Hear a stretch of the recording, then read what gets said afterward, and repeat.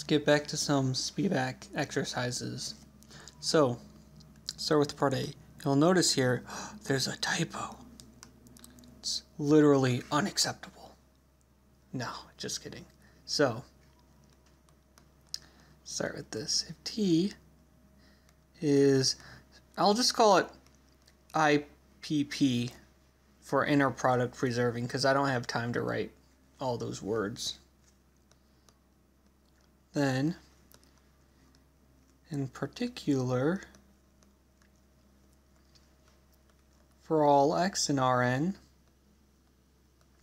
what do we have? We have tx squared.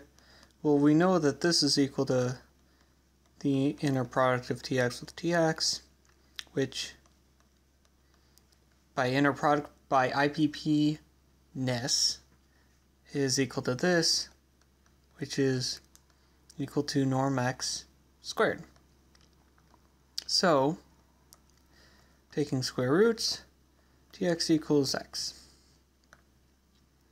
So that's one direction.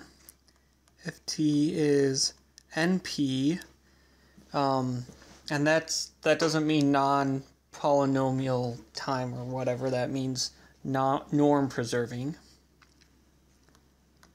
Then for all x in Rn, tx equals x. So tx squared equals x squared.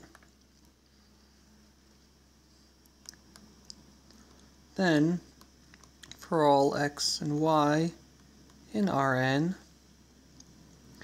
we have, I'm just, instead of using actual words, I'm just going to use symbols. Um, that'll make this very compact. This squared equals this squared. Well, that implies, what does it mean? What do these things mean?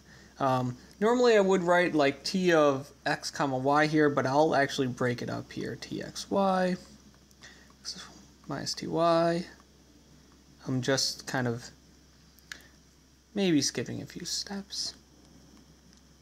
Equals and then x minus y, x minus y. Then what does this imply? Well, if you actually break this all up, you get tx tx minus 2 tx ty plus ty ty and this is going to be equal to on the right you get x comma x minus 2 xy plus yy and instead of writing out another step here where you actually write, oh, well, these tx tx is equal to this, we're just going to cancel them right out here. Um, so this cancels with this, this cancels with this, and then here we get the minuses and the 2's cancel. And, well, what does that leave us with? Leaves us with ty tx equals xy. Nope, we need a y in there.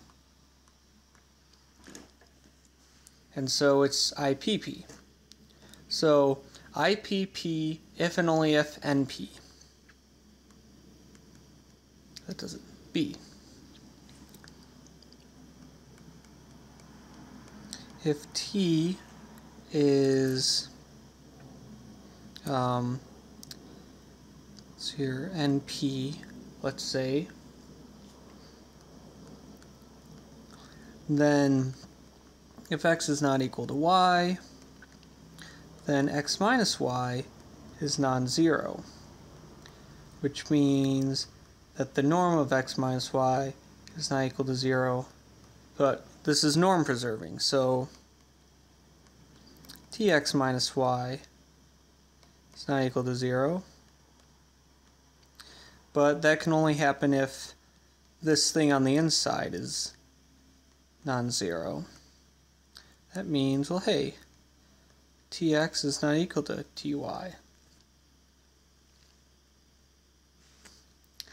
So next, um, if x is in the image of, t, the image of r under, under t, then we know um, so there exist. Let's just say there exists a unique y in Rn, such that t inverse x is in such that y equals t inverse x and so let's see here. So t inverse x is equal to y. This is just something in Rn. So we use norm preservingness. So t of t inverse x equals t inverse. Well, here, let's make this a little more, kind of build up the suspense a little. ty equals y. excuse me.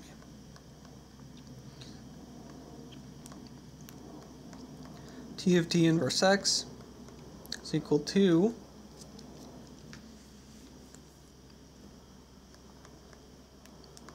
t inverse of x.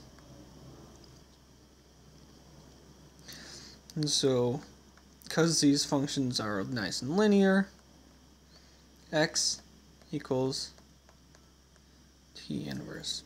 Hmm. Now that I'm thinking about here, am I using circular logic? T of T inverse X. No, we know that this is fine because T inverse X is a unique value Y, and then this is just whatever it's mapping it to. Because T of Right, t, t inverse x is y. y is the thing that maps to x. And so if you bring it back and bring it back forth, yeah, this, this follows, this being equal to x, we're able to say this because t is 1 to 1. So anyways, x is equal to t inverse x. Um, but then this means that t inverse is norm preserving. Um, so T inverse is 1 to 1. And that's because of the thing that we just did before. We know that for all T which are NP, then T is 1 to 1. And so in particular, since T in inverse is NP, T inverse is 1 to 1. And this completes the proof.